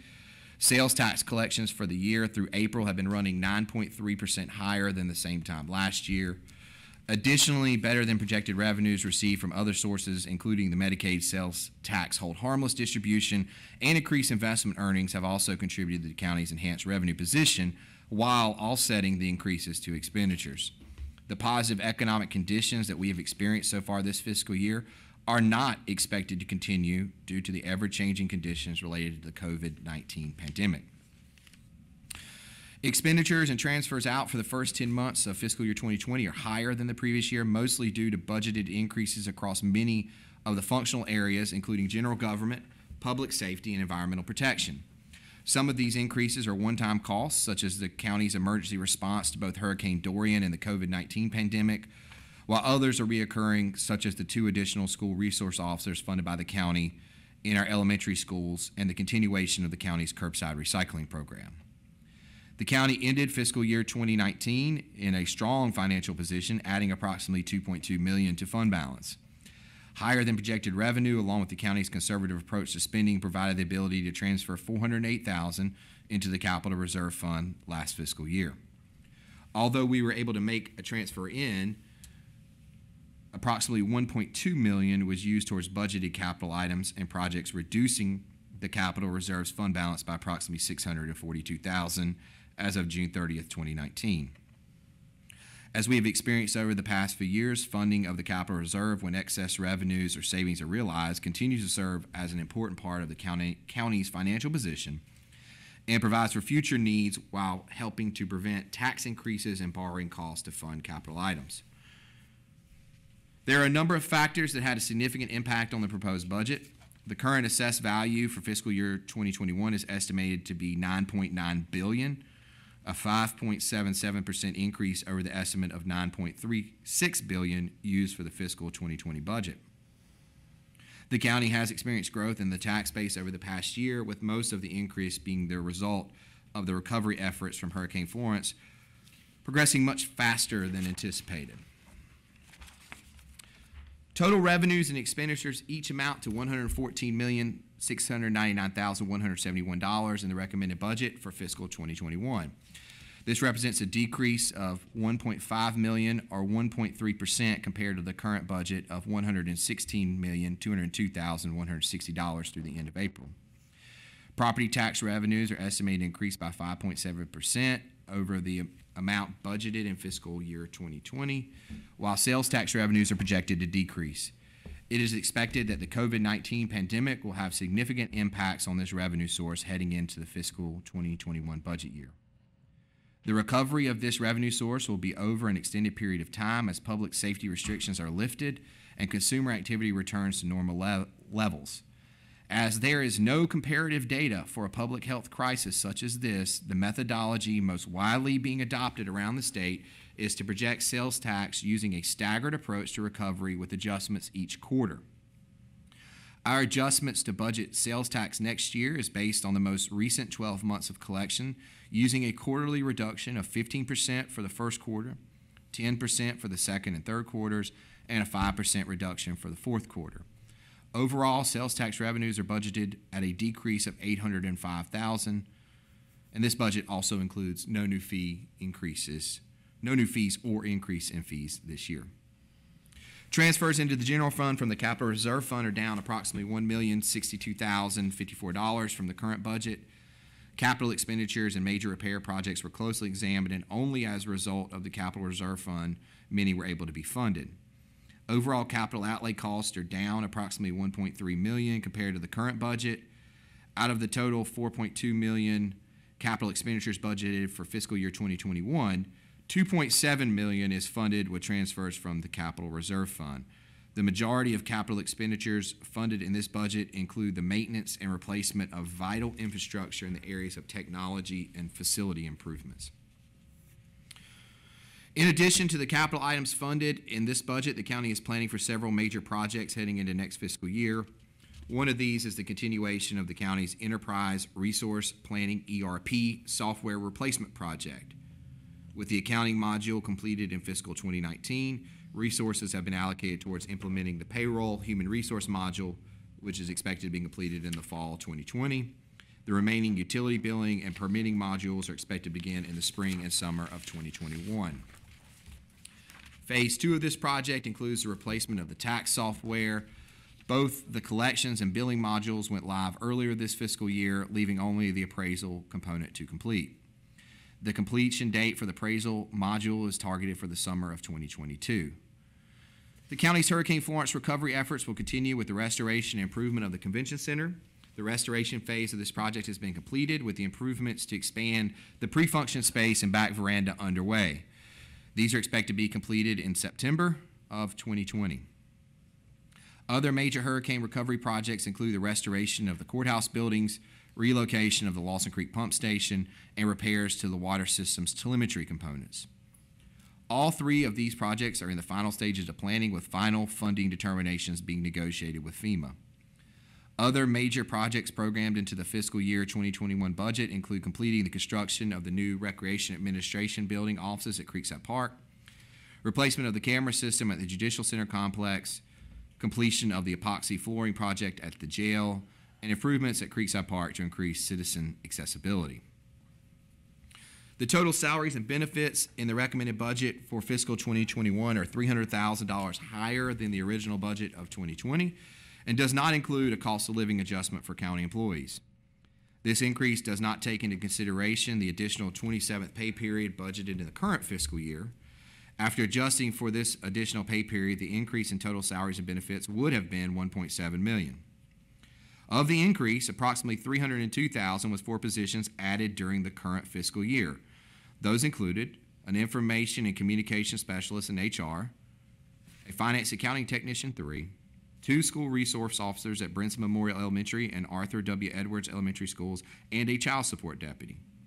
There are 12 new full-time positions recommended in the budget, and they are as follows. An HR technician 2, an IT database analyst, an opioid and firearms violence investigator, four school resource officers, one sheriff administrative assistant, one telecommunicator 1, a hospice accounting clerk four, a social work one, and a social worker three. Total benefit costs are budgeted to be approximately $930,000 higher than the current budget as a result of increases in the county's health and dental premiums and the retirement system rates. So far this year, health and dental claims have been running higher than last year's levels. To offset these costs, the budget includes a 5% increase to both county and employee premiums and accounts for 419,000 of the total increase to benefit cost. For the second year in a row, the retirement system employer contribution rates were increased in the budget by 1.2%. This accounts for 460,000 of the total increase in benefit costs and is the rate established under the retirement system's employer contribution rate stabilization policy, which is anticipated to remain the same through fiscal 2022. Overall, current expense funding for Craven County Schools is recommended to remain flat at $22,129,991 per their request and continues the county's investment and support for our local school system. The school system faces budget challenges that are complex and varied, similar to the county. While this recommended funding amount continues Craven County's commitment to the school system, there are still long-term issues that will need to be addressed. As revenues from federal and state sources tied to enrollment numbers continue to decline, the cost to operate and maintain these shrinking schools does not. This issue will be ongoing and will likely need to be addressed as we plan for the future. Current budget challenges faced by the schools in the upcoming budget year include increases for retirement system contributions and health care premiums, in addition to decreases in federal and state funding as enrollment declines. Forecasted numbers by the schools continue to predict the decline in enrollment, enrollment will continue over the next four years in all areas K 12. In addition to funding these increases, the budget also recommends increasing the local supplement by 1% to 10% at an annual cost of $653,000 in order to meet the school system's priority of improving teacher recruitment and retention. Capital outlay requested is $1,994,967, the same as the current year's budget, and includes two Category 1 projects over $100,000, including a gym floor replacement at Havelock High School at $160,000 and corridor fire door replacements at Dubrin High School for $150,000. Also included in the capital outlay amount requested is $900,000 and continues the third year of funding for the system's uh, system's year Apple iPad lease agreement, which I think we all know is such a lifesaver at this particular point in time. The proposed budget funds Craven Community College's requested current expense at $3,929,300, which represents an increase of $168,185 over the current year. Part of this increase includes $28,394 towards additional personnel costs for salaries, retirement, and health benefits. The budget also funds the full year allocations of both the Volt Workforce Development Center in New Bern and the new STEM Learning Building in Havelock. The expenses for both the Volt Center and the new STEM Center were phased in over time to correspond with the programming of services at both facilities, and the reoccurring expenses were anticipated. Capital outlay for the college was budgeted at $373,000 due to the college realizing savings from deferred maintenance projects that were not performed due to COVID-19 pandemic. It is anticipated this allocation will return to the agreed upon amount of 500,000 in subsequent budgets. The proposed fiscal year 2021 budget provides balance and fiscal responsibility in addressing the many needs across the county while continuing to maintain the lowest tax rate possible for the citizens of Craven County. Craven County values the competitive edge maintaining a low tax rate offers in areas such as economic development retirement relocations. As always, there is still the possibility that the General Assembly may take actions that could affect the county's budget. We will continue to monitor, monitor for those potential impacts. However, I believe Craven County continues to be well positioned fiscally to address any challenges that may come forward. I wish to commend the department heads, staff, and agencies for their cooperation and valuable assistance in this very difficult budget process, and I mean very difficult when I say that. I would also like to thank our finance director, Craig Warren, who's done a tremendous amount of work on this in a new system and remotely. Assistant County Manager Gene Hodges and Human Resource Director Amber Parker for their contribu- essential contributions in developing this budget.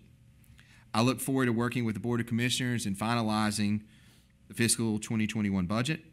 The recommended budget shall immediately be available for public inspection in the manager's office, and we will also post it on the county's website. I recommend the board schedule a public hearing at 7 p.m. on June 1st, 2020, and conduct budget study sessions as required, which you have already acted upon at this meeting. Submitted respectfully by the county manager. I'm available for questions if there are any, or um, we can hold those to Wednesday, your choice. I, I want to commend the county manager and finance director and assistant county manager for the work that they put in uh, this year because this has been one heck of a year for putting a budget together. The commissioners over the next several days, uh, you'll receive this, you'll receive this budget now. You'll have this afternoon and tomorrow to go over it before we meet on Wednesday. I think the citizens of this county have taken and withstood a hurricane, a COVID 19 experience. We have businesses that are going to go out of business. We have people that are unemployed. And I think it's the duty of this Board of Commissioners that in going over their budget, that we look at it as protecting the citizens of this county and setting an example of coming in with a lean budget this year so that next year we can have a greater budget.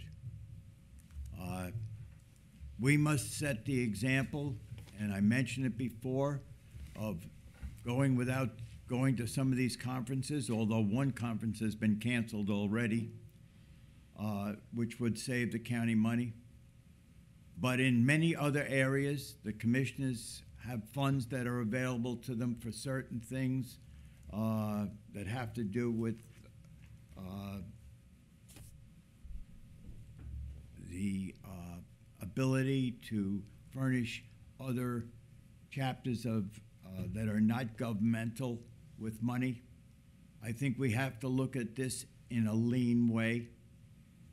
But I think that this group of commissioners in the past has come out and presented budgets to the citizens of this county that have given them lower taxes, good property values, and I think that we will be able to do this again.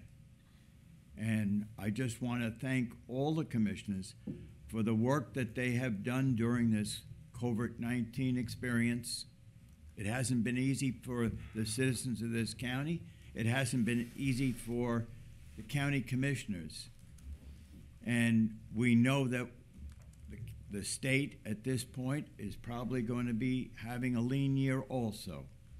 So I, I just want to thank the commissioners for everything they've done. I want to thank the citizens of this county for everything they've done. And uh, I'll open it up to any questions by any of the commissioners or the county ma- manager and myself. Being no questions, uh, I'd like to take an adjournment for 15 minutes. Thank you. Comments that you would No, like sir, to I have no make during the comment at this commissioners' present moment. comments? It's, just- it's gonna be bad. I hope we can schedule something back in December. Yeah. And, and No maybe comments. we'll have No comments. Commissioner Sampson? Oh, yes. I just, I was just uh, looking at our, at the Sun Journal a few days ago, and I was reading about, we had, uh, two teachers that, hmm. That made the headline. One of them was from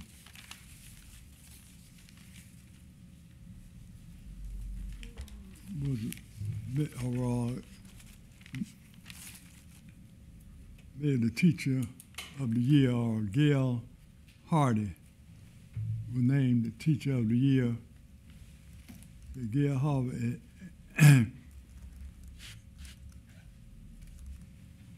advancement, via individual determination. Elect the teacher at New Bern High School has been selected as the 2020 21 teacher ambassador for Craven County School. As an AVID teacher, Hardy helps students develop the skills they need to be successful in college.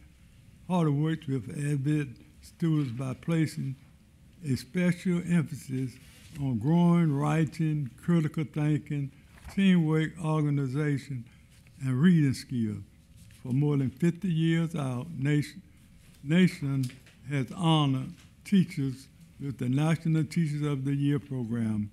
In 2014, the North Carolina Department of Public Instruction announced that partnership with Burroughs Wellcome Fund as the new major sponsor of the North Carolina Teachers of the Year program. So I'm, I'm really proud that we had a lady to receive this award.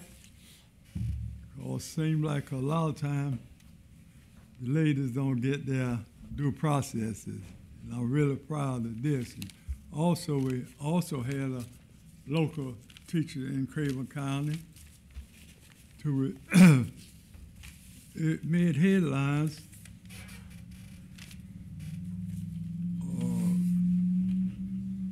West Craven, to Tabari Wallace.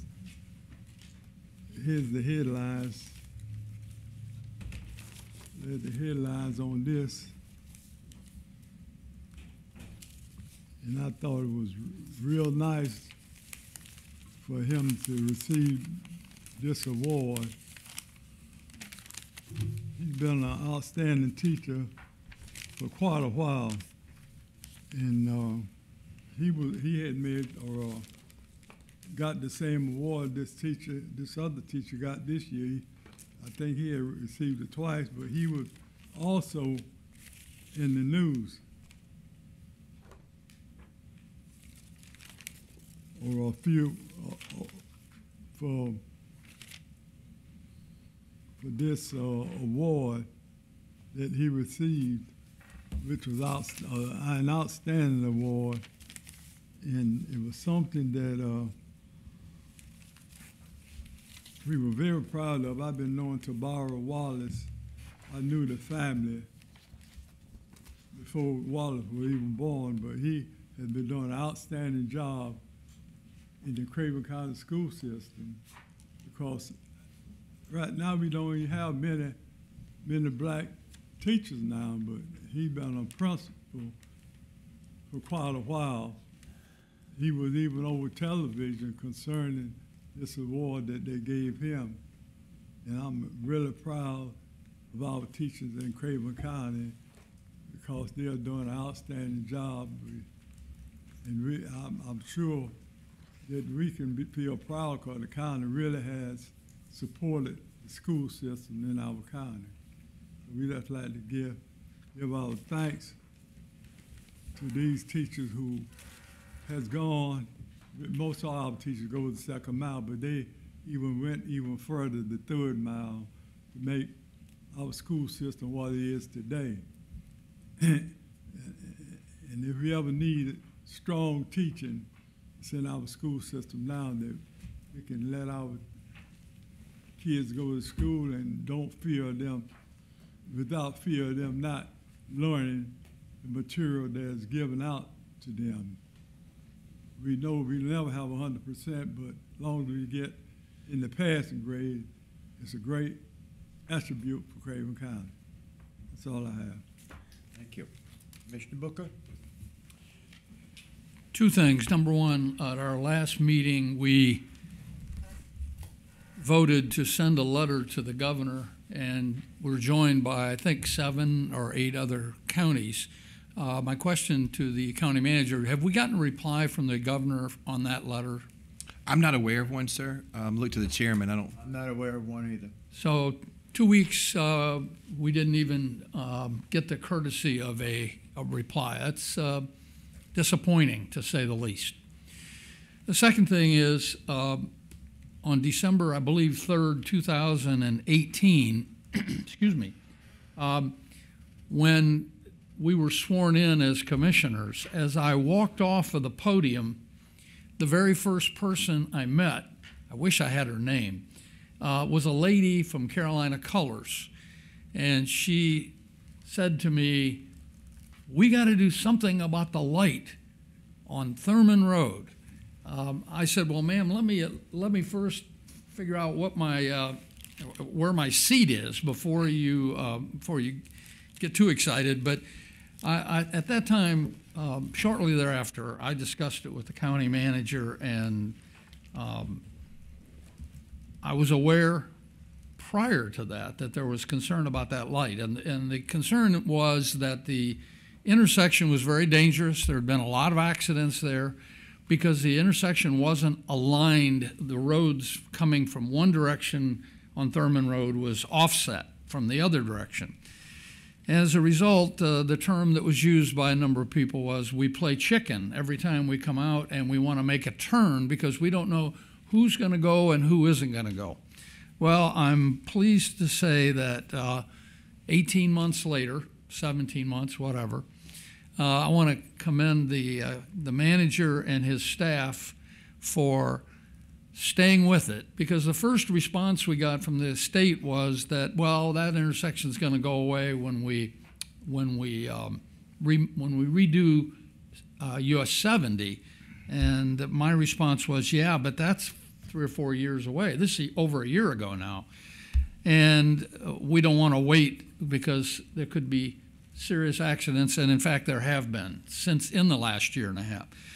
At any, any rate, to make a long story short, I know it's too late, but the light has now been changed. There's now a turn arrow from each direction so that the people coming out of Carolina Colors, and that traffic continues to increase as that as that community grows, those people now can get a turn arrow so they're not facing cars coming at them from the other direction.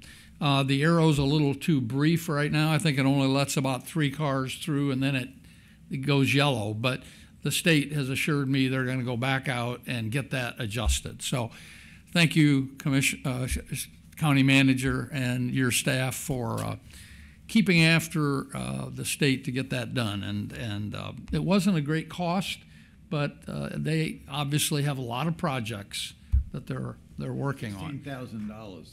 Yeah. And I did also talk to them about the, the rotary that's been approved by, out in the western part of our county. And they say that, I believe he said to me, they expect within a year that that should be underway. Yeah. I don't know why it take, they got to do the engineering first, and that's not done yet. And then they got to, they got to go to the next step. So anyway, it's still in the jar, as the saying goes. So that's it. Thank you. Commissioner Mitchell. Thank you, Mr. Chair. Two things, please. Um, one, I would like to commend the Craven and Pamlico County Animal Shelter. When I moved here 10 years ago, the euthanasia rate was close to 100%. Virtually all of the animals that were received in the shelter were put down. I spoke with the director over the weekend. It is now 21%, which is below the state's average of 28%. So we have made huge progress under our new shelter director, and that is very commendable. Um, the other thing, my second issue, is I would like to commend the citizens of this county for being so responsible about um, maintaining the stay-at-home orders, about being so careful with masks, with gloves, with disinfectant and personal sat- sanitation. I think it has helped uh, keep many of our citizens safe. But I would also caution them to be careful. If you see a neighborhood gathering in somebody's backyard, call your police department, call your sheriff, and let them address it. It may be something going down that you're not aware of, don't need to get involved with it, or it may be a gathering in the wake of a tragedy. You don't know, so let the proper authorities deal with it. And the other one I would ask is be kind and compassionate when you see someone who is not wearing a mask uh, as opposed to confronting them publicly. There are many valid medical reasons, psychological reasons, and background reasons for not wearing masks. Um, everything from low hemoglobin to craniofacial deformities to victims of abuse and trauma may not be able to wear masks as well. Um, and the reason I'm saying this is I saw an elderly couple in the grocery store get chewed up one side and down the other because they were not wearing masks. He had a terminal brain cancer, and he could not recognize his wife of 50 years when he was when she was wearing a mask, and they were in tears. So um, be kind, be compassionate, and assume other people are doing so for the most part, because I think most of our citizens are responsible and are very careful, but you don't know what shoes they're going to be walking in. That's all, sir. Thank you. Commissioner Liner. Sure, thank you. Uh, Sad news to announce on, we've had a lot of sad news on that, but these two people were important to this community have done a lot for this community. I think you all know Arlen Bell passed away last week on that. He served the school board for a number of years and served Havelock in this county in different roles throughout his life. He was my opponent during my first election and a fine gentleman and always supported me once I got elected on that. So it's a great loss for the community. Another great gentleman, if you ever met him, always had a smile on his face, and that was the mayor of Pine Knoll Shores, Ken Jones. He was always helpful, always supported this community, Craven County, even though it was across the river. down there. He wa- was always helpful and, and good. So it's a great, big loss for the area. Next, I'd like to thank the Sheriff's Department for being out there Friday. They had a parade in Carolina Pines to honor all of the seniors throughout. A large turnout, large people, a lot of people turned out in their homes for the senior, seniors to honor them. Seniors are missing out on a lot of big challenges that we've all received. We graduated. I mean, it's it's it's a loss, but it was it was great and well received on that. Another thing, this is not going to be published. It's not going to be in the paper, but I'm going to make the announcement on it. I'm not inviting anybody, but I'm letting you know that Monday at noontime, the 25th, Memorial Day, the military council and myself will be laying a wreath at the county courthouse in, memor- in, re- in remembrance of Memorial Day at one of the monuments there. Since we're not allowed to be in the cemetery to have the honors there. Now, don't get me wrong, the VA is holding a wreath laying at the cemetery with no public invited. There's no flags that will be put out on the graves there. But the cemetery will be open. Families are allowed to go inside. Families are allowed to put a flag on their individual grave or a friend's grave. There just will not be flags put out by the VA that the cemetery has that we normally do for every grave site in that site. So, but the cemetery has been open. Cemetery will be open all week of Memorial Day weekend to receive family members and friends that come out there. That's all, sir. Thank you. Thank you. Vice Chairman, Chairman, I don't have anything. Uh, as chairman, I, I think I said enough today. I don't have anything, so let's call for an adjournment. Uh, we're going to 15 close minutes. session? Uh, we'll go close session after. Recess. Recess. Recess.